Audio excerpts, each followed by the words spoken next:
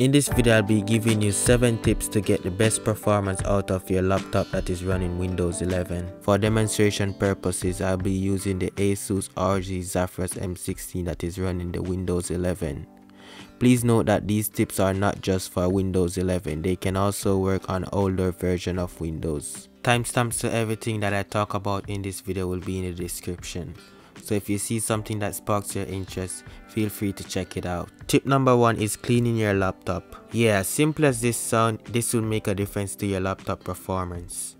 Computers can be a vacuum for dust, especially gaming laptops. Cleaning your laptop from time to time will prevent dust from getting stuck inside, which can lead to airflow being blocked and overheating your laptop. This will lead to less performance from your laptop. So try to clean your laptop more often. Also, using a laptop in a clean environment will also help to keep it free from dust. So using an air purifier will help. Tip number 2 is using your laptop on the right surface. Personally at first I never thought it would matter where you place your laptop. So I used to place my laptop on my bed and use it there. Also, even though it's called a laptop, it doesn't mean using it on your lap will give you the best performance. Placing your laptop on your bed or on your lap while using it will block the airflow, and blocking the airflow will cause your laptop to overheat and lower your performance. To avoid this, place your laptop on a flat surface and make sure it has enough room for the proper airflow. If you want to get the best possible airflow, you can also go ahead and get yourself a laptop stand like I did. I got this really cheap laptop stand off Amazon.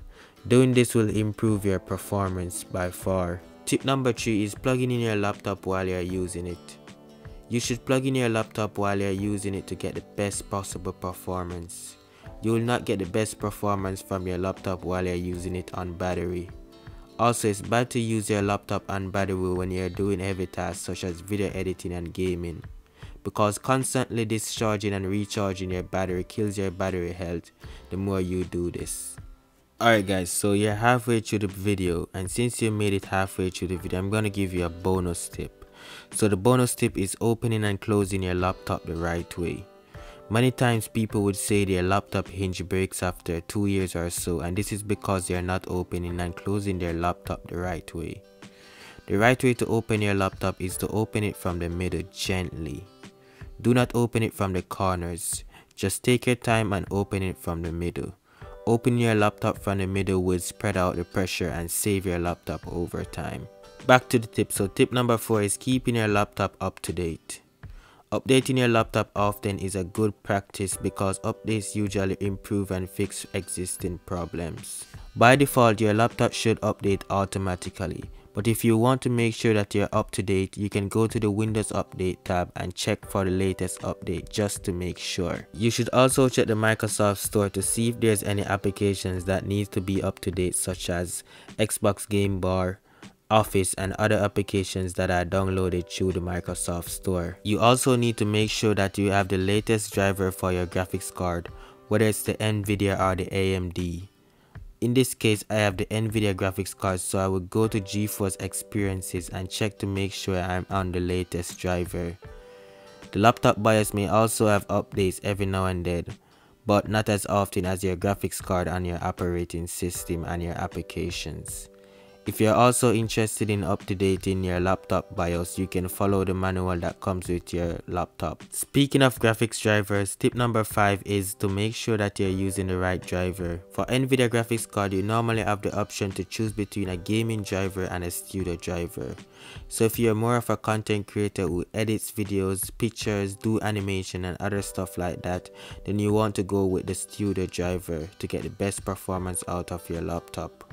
On the other hand, if you're a gamer then you want to go with a gamer driver to get the best possible gameplay. Tip number 6.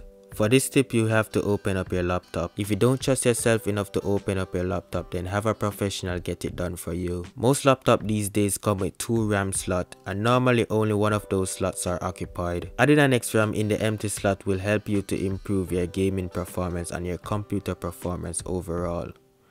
Also, note some laptop might only have one memory slot, but sometimes they have a RAM that is soldered into the motherboard, so it's actually two memory slots. Alright guys, so here's the last tip. Tip number 7. It is pretty simple. Connecting your laptop to a monitor can be a big performance boost.